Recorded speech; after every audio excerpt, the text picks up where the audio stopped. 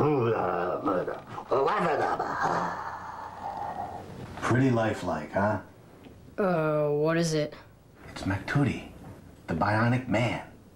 It's Makuta, and they're called Bionicle. Exactly.